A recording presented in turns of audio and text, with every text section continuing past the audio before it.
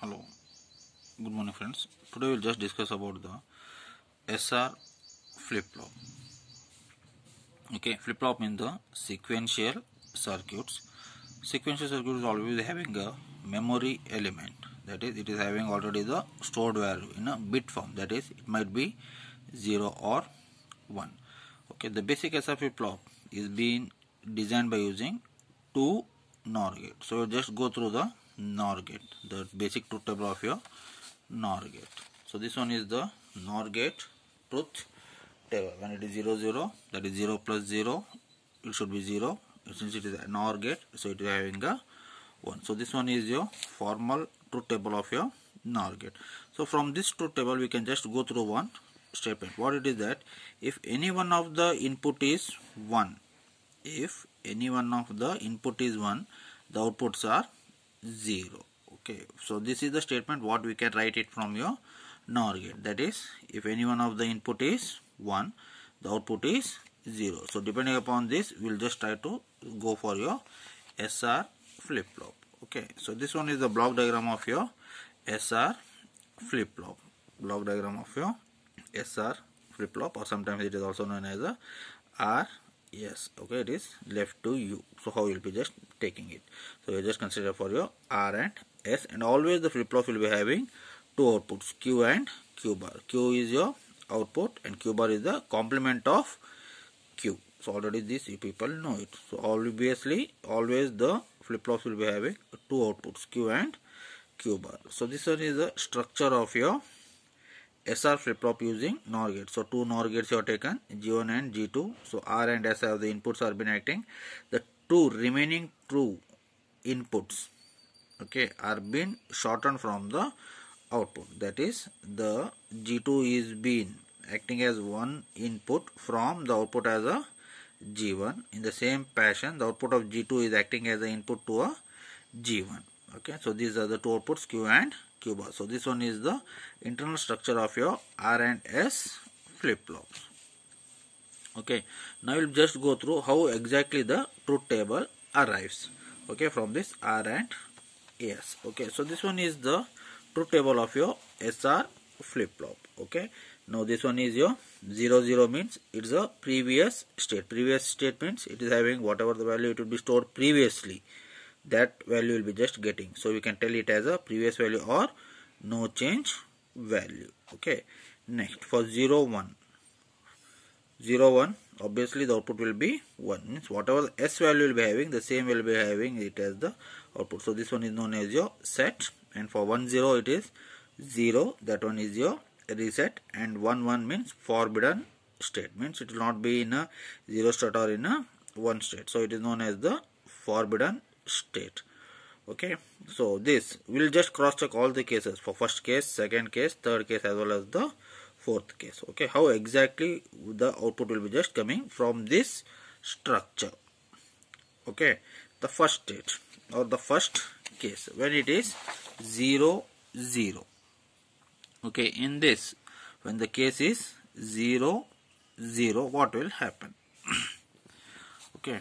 So we'll just consider the SR flip-flop. So R is also 0 and S is also 0. But the NOR gate truth table, what does it say? If any one of the input is 1, the output is 0. But here both the states are 0, 0. Okay, so now what we'll do is, we'll just consider the flip-flop statement. That is, it is having a memory unit. So what, what we'll do is, we'll assume the value as Q is equal to 0 and Q bar is equal to 1 so obviously so if q is equal to 0 q bar is equal to 1 so that is r is equal to s r is equal to 0 sorry. R is equal to 0 s is equal to 0 so this is the first condition that q is equal to 0 and q bar is equal to 1 okay now the output of g2 will be what now? So see q is equal to 0 so both s and q will be what? 0 0 so what the truth table of the 0 0 means the output is 1 so whatever the assumed value so q bar is 1 so what it is? Correct. Now q bar is 1 means this so this is acting as the input with r is equal and q bar is 1 so 0 1 means the output is 0 so whatever the assumed value was what? Q is equal to 0 and q bar is equal to 1 so it is having the same state what we people have assumed. So you can just consider it as what so q is equal to 0 and q bar is equal to 1 so whatever the previously stored value was the same output we are getting. For that is for 0 0 it is having a previously stored value. Now once again what will cross check is when r is equal to 0 and s is equal to 0 what are assumed value that is so initially what you assumed is q is equal to 0 and q bar is equal to 1 now it will change. Q is equal to 1 and q bar is equal to 0 when q is equal to 1 so the output of g2 will be what so when g is 1 and s is equal to 0 so what the statement is? If any one of the input is 1 the output is 0 so depending upon this what we assumed value was? So q is equal to 1 means the output is q bar is 0 now both when r and s is equal to 0 0 q is equal to 1 that is the truth table of NOR gate so whatever the assumed value was q is equal to 1 and is equal to 1 and q bar is equal to 0 is same. That is of a previous value that is of a no change value. So what we can tell is that so when both the inputs are 0 0 so it is in a previous state or in a no change state. Okay now the second condition we just cross check okay? Case 2 that is when r is equal to 0 and s is equal to 1 okay when r is equal to 1 and sorry when r is equal to 0 and s is equal to 1 when if r is equal to 0 and s is equal to 1 so in any one of the input is 1 the output of the NOR gate is what? It is 0 so it q bar is 0 next r is equal to 0 0 0 means it is 1 so the q value will be what? It will be 1 okay. So when r is equal to 0 and s is equal to 1 the output of a value is 1 that is the set value. Okay in the same fashion when r is equal to 1 and s is equal to 0 if r is equal to 1 if r is equal to 1 the output of this value will be what here? It is 0 okay so for this 0 0 it will be 1 so if q is equal to 0 1 uh, 0 means it is a reset value. Okay so what you are getting is in a state. Next when both the states in a 1 1 condition.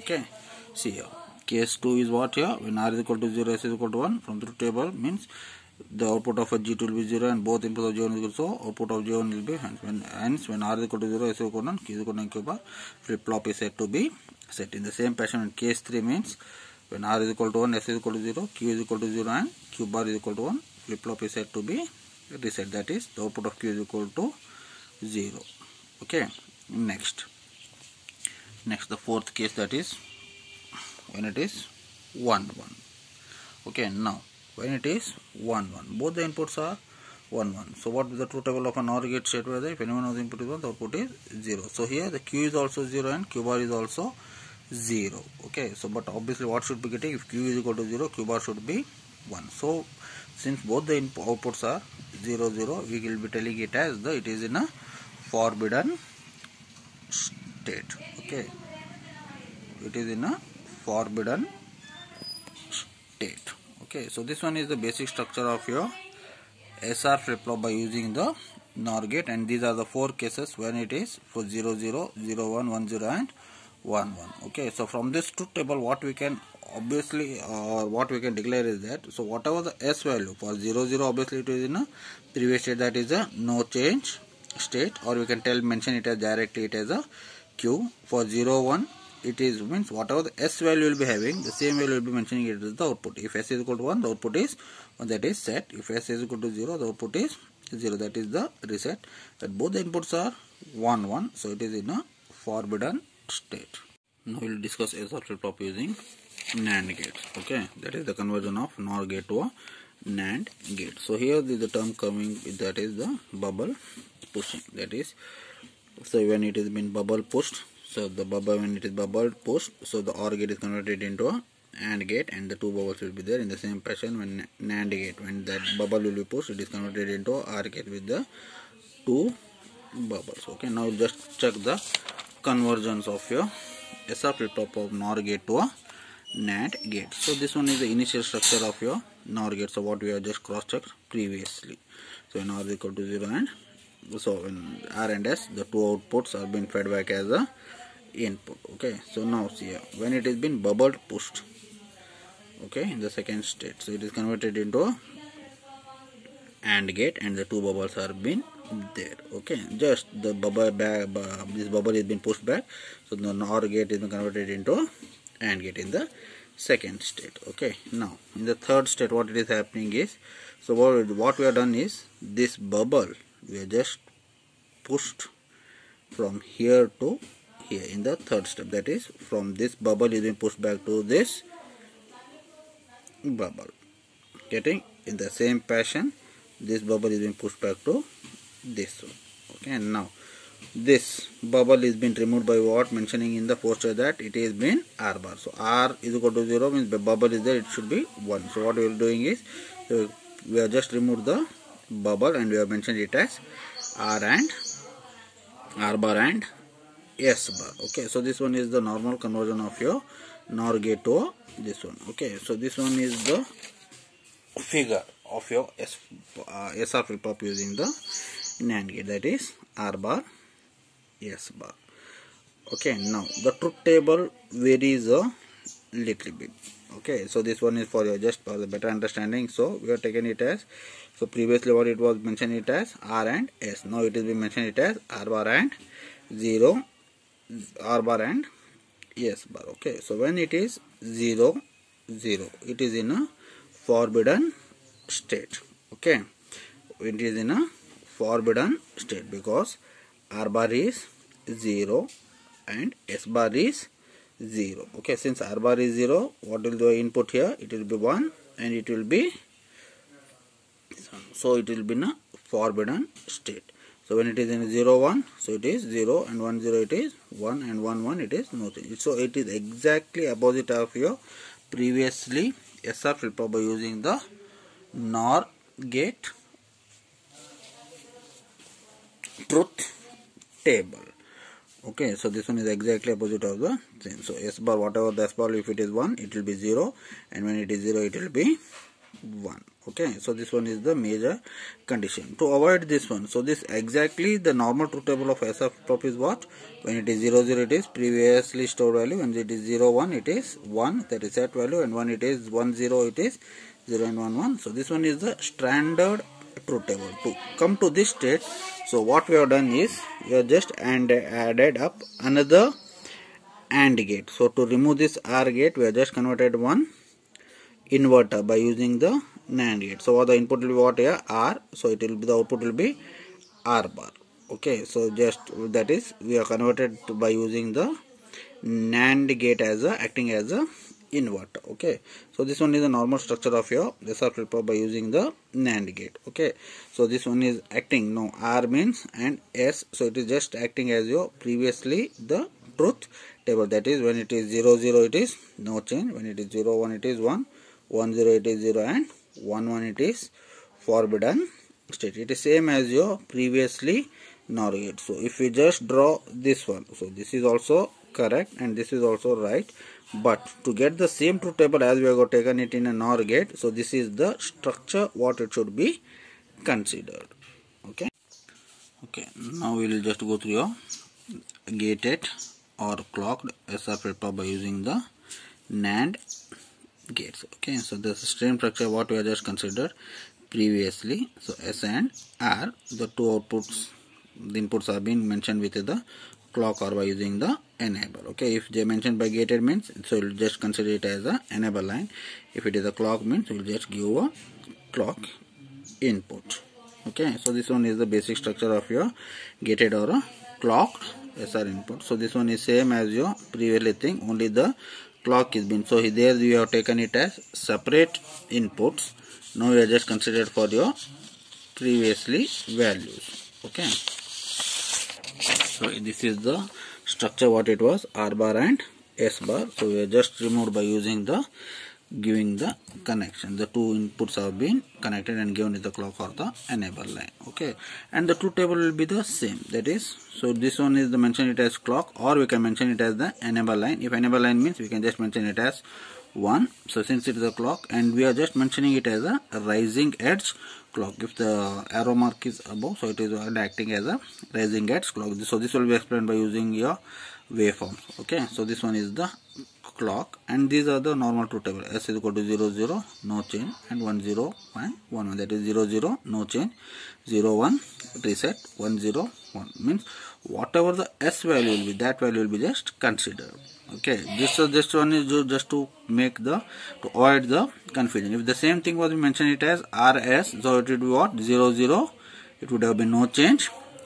R 0 1 means it would have been 1 and 0 1 1 0 means it would have been 0 if it is the change to r and s. Okay now it is what? 0 0 means you can just imagine that. So whatever the set value means s value will be the, that will be the same value. If it is 0 it is 0 if it is 1 so it is 1 1 and it is a forbidden state condition that is for 1 1 now you'll just consider through the waveforms of your SR flip-flop. Okay so this one is the normal continuous clock. First clock second clock third clock four and it will be in a continuous motion okay so this one arrow mark means so this one is acting as a regime means whatever the changes of the input will be happening and this will be happening at this state only. That one is your rising edge clock. And some some of the textbook they will mentioning it as the falling edge. Okay so that it is left to you so now it is rising edge clock. We are just mentioning the s value something 0 1 and all those stuff and r value is 1 0 now at the rising edge clock we'll just cross check what is the value of s and 1 see at the rising edge clock s is equal to 0 and r value is 1 okay so 0 1 means obviously it is in a 0 value. The output value is q is 1 so this output will be in a pre means whatever might be the input here it will be until what until the next rising clock the output will be same that it is 0 okay at this rising edge clock the next s is 1 and r is equal to 0 so the output is what? Rising edge. If s is equal to 1 means the obviously the output should be 1 that is the set value so it is been rising. Okay so this is continued until what? The next rising edge that is the third clock plus rising edge. So here the output input is 0 0 s is equal to 0 and r is equal to 0 so what it is mentioned when both the inputs are 0 0 it should be in a previous state or in a no state state. So this output is been considered 1 and it is been in a continuous fashion. Until what? During the next rising clock next what it is? 0 1 so once again this one is for the falling edge is taking place because s value is 0 so here it is getting the value as 0 okay next. What is the forbidden state? So that is during the next clock when s is equal to 1 and r is equal to 1 so it will mean a 0 1 0 1 means it will mention it as a forbidden state. Okay so it is just considered for your so this one is the waveform and it is no way mentioned that it should be initially started with the 0 and 1 so it is left to you but during we should consider only at the whether it should be rising edge clock or the falling edge clock. So in this truth table we have mentioned it as rising edge clock. So it is just considered for the rising means whatever and the output and what is happening at the rising or if the inputs are changing at that point only at the output. Okay. So in 0 1 it is 0 that is reset. For 1 0 it is 1 set. So once again it is 0 0 means the output 1 is being followed. If it was 0 the output have been followed by the so for 1 1 set it is in a forbidden store so this one is your waveforms of your SR